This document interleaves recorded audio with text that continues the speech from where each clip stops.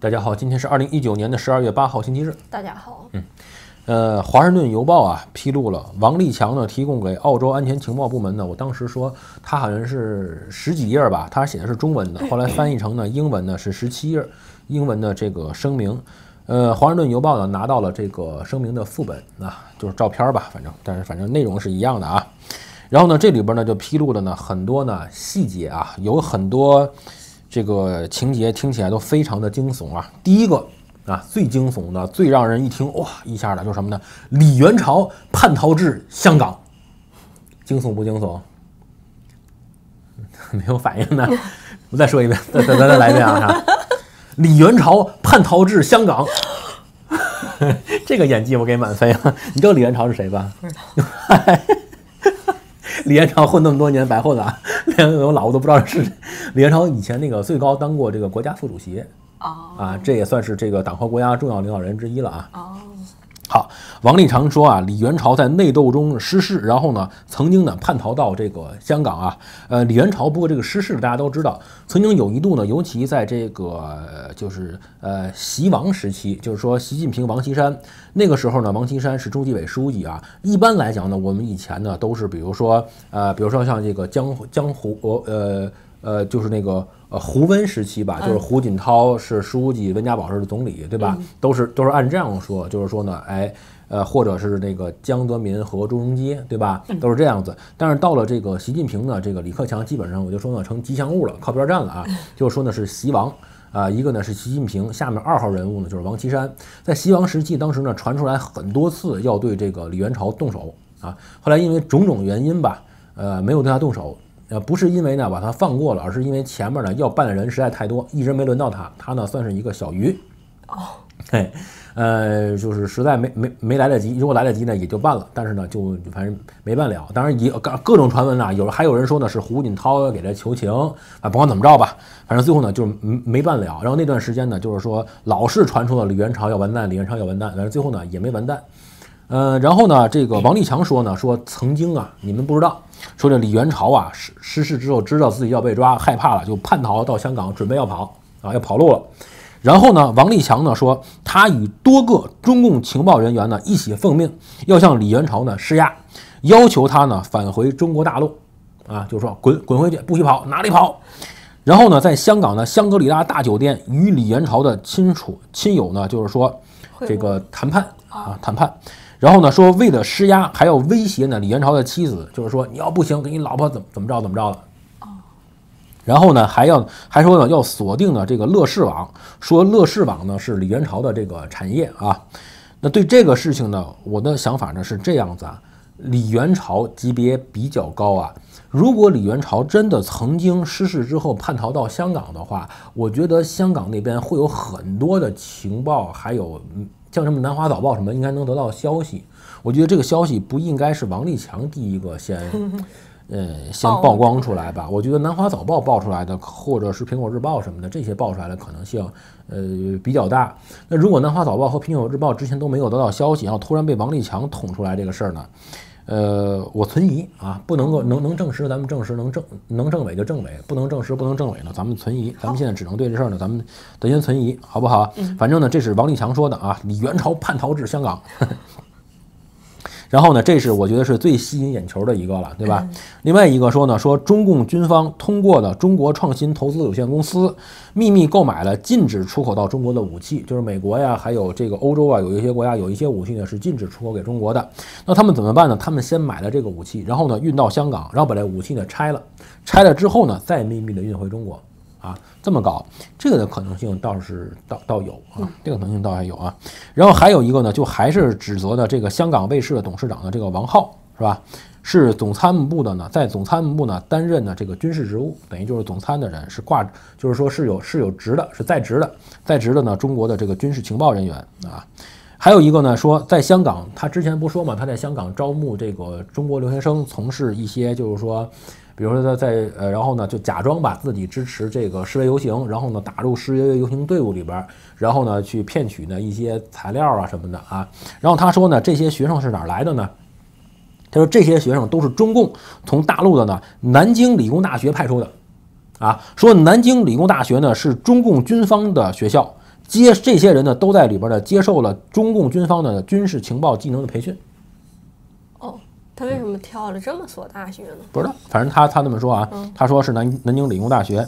呃，不过这个挺好，这个我觉得他爆出来了很多咱们这些事儿，咱以前都没听说过，对吧？像李元朝叛逃至香港啊，还有南京理工大学要专门从那儿，呃，说他他说这个学校里边有中共军方的背景啊，说这些学生们在里边就直接接受了军事情报培技能培训，然后培训完了之后呢，从南京理工大学呢直接再派到香港的大学来，啊，是反正反正这是王王志王立强说的啊，不过王立强现在给我的感觉越来越朝着这个二点零的这个小柜子去了啊。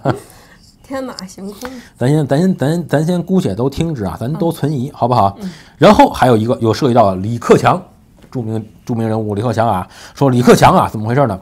李克强当这个国务院总理嘛，他试图呢放松对中国金融市场的管制啊，然后呢他呢希望通过促进 P2P 贷款，为中国的这种经济啊，还有一些业务呢提供的这个资金支持。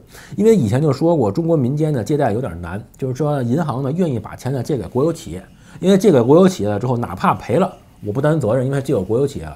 那如果借给民营企业或者私人的话，万一赔了，我有责任，嗯，对不对？所以他们有担心，不太，他们上面不好借，不好借呢，就出现了各种的这种，呃，就是说黑社会啊、高利贷呀，互相这种拆借，然后呢，以至于呢，在追账，在这个追账的时候呢，就出现了各种问题，对吧？以前我们也知道，那个女的她儿子把那个追账的给捅死了，对吧？就出现了这种问题。所以呢，这个李克强呢，就试图呢放松呢对金融市场的管制啊，就促进了这个 P to P 的贷款。啊，然后，然后呢，就希望借此来搞搞活经济，让一些民营企业家和私人的一些人呢，能够呢，就是需要资金的人呢，能得到资金，对不对？那然后呢，他就说说这习近平呢跟李克强不和，那么习近平呢为了更好的控制金融业，所以呢他说是习近平打击的 P2P 贷款。去年的时候，就整个这个 P2P 暴雷嘛，对，还记不记得？然后很多的受害者，我记得有一个女的，她不还上吊自杀了嘛？对不对？我们我们也报道过，她还上吊自杀之前留了一封遗书，跟她的孩子说：“能移民就移民吧，对吧？不要留在中国了，对不对？”他说呢，就是这个对于 P2P 平台的这一次打击是习近平搞的，啊，就是为了因为跟李克强不和，然后呢说呢是以人民的利益呢为借口来呢镇压了这个 P2P 组织。啊，这个有没有可能性呢？有一定的可能性，因为以前呢，我们也也也说过，有一个叫这个吴英吧，我记得有个叫吴英的一个女的，东北的一个女的，这女的很有名啊，她呢非常会投资，她就自己呢搞这种借贷平台，就跟 P2P 一样，我来呢筹钱，你们相信我，你们把钱给我，给你高额利润，然后呢我一投资，投资完了之后呢，挣的钱呢还给你们，然后剩下的钱归我。这个吴英的时候呢，后来最后这女的被判死刑了，当时呢就有这个争议。对不对？以前呢，就有这个经中国一些经济学家就说说这个吴英的问题在这儿，就是什么呢？就是说人家找别人借米，比如说我找你借米，借了一碗米，我焖了一锅饭，然后呢，我说呢，我还给你一碗白米饭，对不对？但你要明白，这这一碗米进去之后呢，能出一锅饭，对不对？我到时候给你碗一碗呢，剩下都是我的了，我还有烙的，对不对？但是最后呢，如果不行是怎么回事？就是这锅米我进去之后，我刚进锅还没熟，你把我锅盖揭了，那我就完蛋了。对不对？时间没给足，时间没给足，对吧？这个 P2P 呢，我觉得也有这个可能性。就有一些 P2P 平台，就是什么呢？钱呢刚借进来，我刚投资出去，你马上让我还，那就是没有钱嘛，那一下就崩了。崩了之后呢，大家都都倒霉，都得吃亏。但是如果呢，我钱借来，比如我答应你五年之后还，你别管，这五年你给我，让他去投资，五年之后投资有所收获的时候呢？我还了你钱，我还能有能有所剩余，这个呢是有可能的。所以他说呢，这个 P to P 的暴雷害了这么多人呢，是因为这个习近平和李克强之之间的这种，就是说这算政治理念还是经济治理理念吧，反正不合导致的，导致了这么一个情况，给给很多的老百姓呢造成了巨大的这种经济损失，是吧？然后呢，他说呢，就是说，然后呢，但是在镇压的时候呢，不能说因为我他妈看李克强不顺眼吧，对吧？他说呢，是我要以人民的名义，以人民的利益来镇压。P2P，然后呢？但真正的目的是什么呢？是为了防止中国的金融市场呢过于活跃。咱这王立强爆的料啊，咱们先先姑且听之，是吧？嗯，好。然后呢，还说到了向心，说这个向心说什么呢？说向心说啊，说如果我留在国内，我我不派到香港来的话，或者如果我愿意回去的话呢，就是说我最起码能当个省长啊。但是呢，向心说呢，我不愿意回去当省长，我愿意留在香港快活。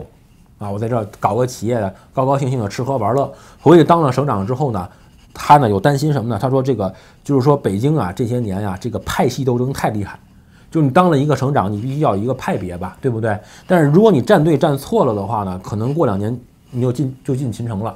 我呢在香港搞一个企业，表面上来讲呢跟政治没有关系，对吧？私下里搞一些情报，帮你买点武器，然后呢我在这儿做个生意，然后呢可能哎一年挣个几个亿啊，搞点钱，吃喝玩乐呢逍遥快活。我不愿意回，给我个省长我都不去。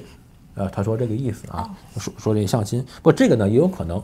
的确呢，有一些人呢，宁愿出来高高兴兴的，我也不愿意在那儿呢受那个罪。而且当个省长呢，你天天的还得在那儿一本正的，是不是？没事儿开个会啊，指点一下江山啊，是不是？弄块好点的表你都不敢戴，嗯，对不对？以前不有那表叔嘛，天天的换块表，后来大家都不敢了。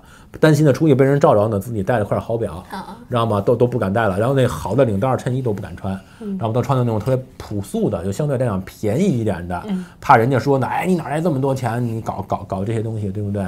嗯，这个我想起来什么呢？以前我们我们那个我们天津的时候就有一个天津有个特别著名的一个市市市长，就是李瑞环。李润环有一次就是李润环在天津时治理，他特别的这个就是自信嘛，没事儿呢他就。让记者问您问问题，看你们能把我问住吗？当时天津就有一记者就问说：“那个呃，市长，您这个抽这烟，您我看您抽这烟，这是什么？好像他抽什么中华还是什么的啊？反正就是说您抽抽，我看您天天抽烟。他说对啊，那抽烟嘛，这个帮助工作，知道吗？然后说那您这一天大概抽几盒啊？哎呀，他说要是累的时候，一天得抽两盒啊，平常一天也得一盒。”然后问那您这工资多少？您您您这买的烟，您因为那时候工资低，你像李瑞环当那时候工资特别低，你知道吗？说您这烟，您那工资供得上您这烟吗？李玉环他妈生气说要把烟戒了，不知道也没戒没戒啊。反正当时我们天津都传这个事儿，你知道吗？反正就有这个问题，就是说呢，你你当个省长的市长就有这个就有这问题，你抽抽点好烟，别人都在那儿唧唧歪歪的，对吧？指责你戴块表。你你知道吗？你都你都有问题，对不对？你要是在香港，你搞企业呢，没人管。你想抽好烟、戴好表、开名车，都是应该的嘛。我企业家嘛，成功成功企业家嘛，对不对？所以呢，这个这个还是这是是有可能的，有可能啊。本可呃本可以担任哪个省的省长啊？哦，这他没说。嗯，我很好奇。这个这个他没说。好，然后还有一个呢，就谈到了这个台湾说。中国呢，在台湾呢，给这个亲北京的国民党的总统候选人提供的金钱资助，价值约一百四十二万美元，折合新台币呢是四千三百二十一万元。哦，啊，然后呢，还要散布呢假新闻，攻击执政的民进党啊，说中共控制的五十家网络公司正在台湾的旅馆和饭店工作，用来呢。收集情报，那这里边呢也涉及到了一些呢，就是说，呃，这个关于台湾有哪个媒体跟他们这个有合作呀，等等这些事儿。呃，不过以王立强目前来讲呢，越来越像二点零的小柜子呢，我们先别说了，是吧？我们先别说了，反正这个呢，你去网上查，你都能，你你也都能查得到，是吧？我们把这些呢，就是说听起来很吸引眼球的、很震惊的那种新闻呢，呃，都给大家摘出来说一说。呃，我们呢这么说，我们现在来讲呢，对王立强呢也还是处于一个存存疑、存疑，不能证实，不能证伪，我们先先先存疑啊。有他的这个正面报道呢，我们也也要播报。和他的这个负面报道呢，我们也播报。作为媒体呢，我们把所有我们得到的信息呢，向大家呈现出来，是吧？那至于至于大家怎么去评判它，怎么去理解它啊？你是相信还是不相信？那么这个权利呢，留给大家。我们呢不做过多的呢评判，好不好？那今天这期呢就讲完了。这就是王立强呢这个十七页声明里边之前呢没有提到的一些内容。好，好吧，那今天这期先讲到这里吧，好吧，谢谢大家，谢谢大家。